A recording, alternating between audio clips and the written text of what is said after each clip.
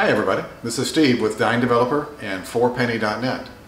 This is the first in a series of videos on how to get started developing with Visual Studio Tools for Dynamics GP.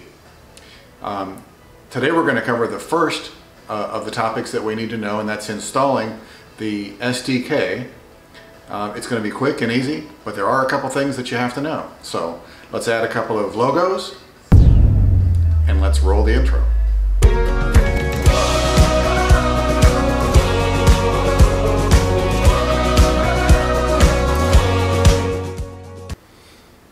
Okay, let's get started. The SDK is located on the Dynamics CD in the Tools directory. Under SDKs, you'll find VS Tools. And we're going to go in there and run the executable.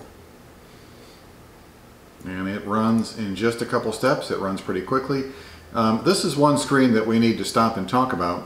The um, the deal is, is that they only install the templates for just a couple versions of Visual Studio. So in this case, this machine has is, is GP uh, 2016 and we've got Video Studio 2015 on it. But if you were to have a higher version of Visual Studio on there, there is a way to move the templates up, but that's a more advanced topic and we'll cover that at another time.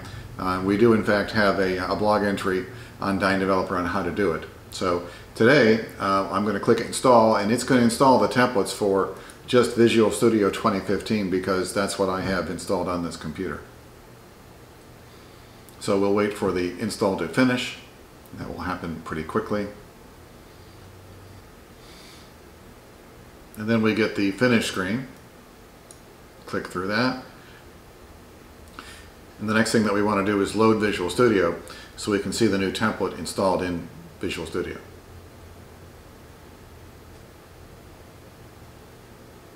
Okay, we're here. So we're going to click on File and New and Project.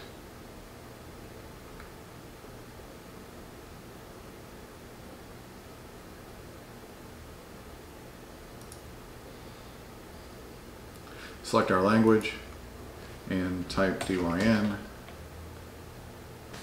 and we get up the Dynamics, Microsoft Dynamics GP add-in templates. So this is how we tell that it's been installed correctly. And that's all there is to it. I've included links down below to the menu structure on dyndeveloper.com so that you can have access to all the videos.